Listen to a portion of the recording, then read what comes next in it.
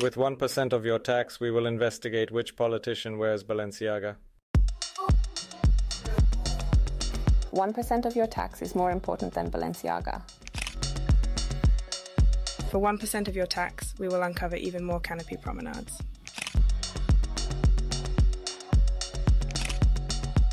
The only disadvantage of a podcast is that you can't hear how fashionable I dress.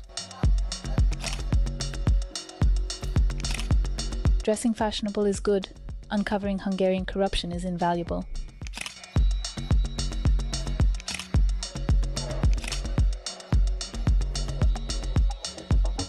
Every 1% tax donation is important, just as important as Balenciaga.